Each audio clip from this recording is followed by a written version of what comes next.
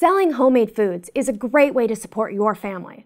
Unless you're in Arizona, where Governor Hobbs vetoed a bipartisan food freedom bill. Food freedom affects everyone. It is about the prerogative to choose what you eat and the right of home cooks to earn an honest living. House Bill 2509 would have expanded the types of foods that Arizonans can make and sell, like salsas, dried fruit, and tamales. The bill passed the state legislature with overwhelming majorities, but in April, Governor Hobbs vetoed it. Efforts to override the veto narrowly failed.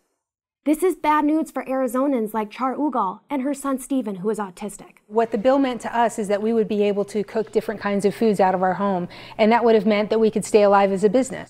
Mm, I was sad that Katie Hobbs did that veto. We will continue to work with food producers, activists, and officials to ensure the future bills become law. Together, we can make a difference in food freedom in Arizona and across the U.S.